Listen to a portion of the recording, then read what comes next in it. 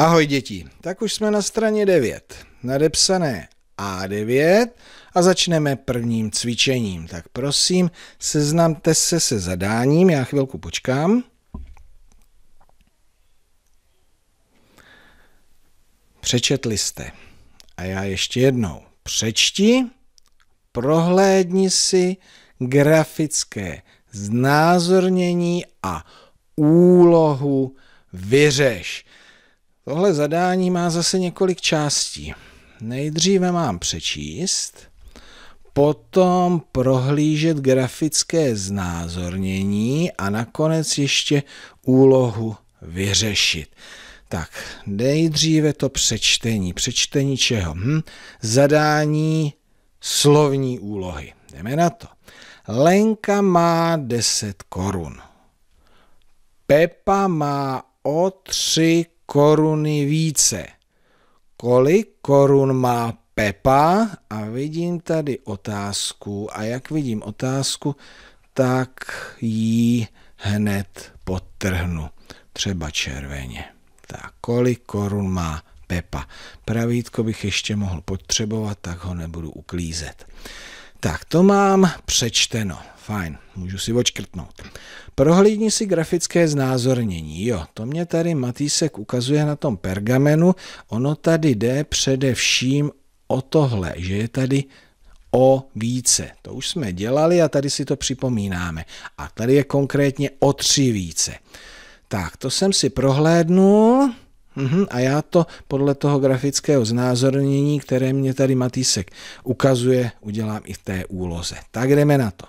Lenka má 10 korun, takže u desítky modře čárku si tady udělám, desítku obtáhnu a vezmu si pravítko a od nuly do deseti, to je těch 10, 10 korun. Tak. Výborně. Tak, to máme 10. Lenka má 10 korun. Pepa má o 3 koruny více. Co to znamená o 3 více? To znamená, že Pepa musí mít nejdříve úplně stejně jako má Lenka. To znamená 10, ale potom má ještě o více, čili budeme přidávat, budeme se na číselné oce pohybovat doprava, ale přesně o tři více. O jednu, o dvě, o tři více. Tak a my jsme se vlastně tím pádem dostali už po prohlédnutí grafického znázornění do řešení té úlohy. Takže otázka, kolik korun má Pepa? Pepa má výpočet stejně jako Lenka, ale o více, čili musím přičítat plus a o tři více plus tři. 10 plus 3 jednoduché rovná se 13. Takže sem dopíšu 13 a znova se podívám na otázku, kolik korun má Pepa. Odpovídám Pepa má 13 korun. Hele, a tady je zase nápověda, takže napíšeme tu odpověď, je to věta, na začátku věty velké písmeno, ale ještě je tady vlastně jméno, takže je i velké písmeno kvůli tomu jménu. Takže Pepa, velké P, tak na druhé pomocné lince jsme začali a pokračujeme ze spoda.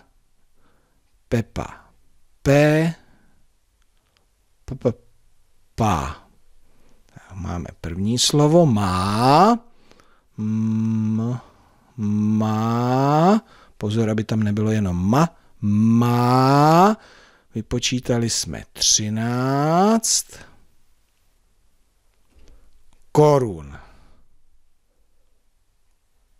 Korun.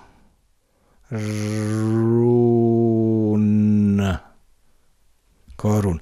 Na konci věty tečka. Tak fajn. Takže jsme to vyřešili. Porovnáme. Řešení 10 plus 3, ano, Pepa má 13 korun, to jsem také napsal. Nechybí mě čárka, nechybí mě tečka, velký písmeno na začátku. To.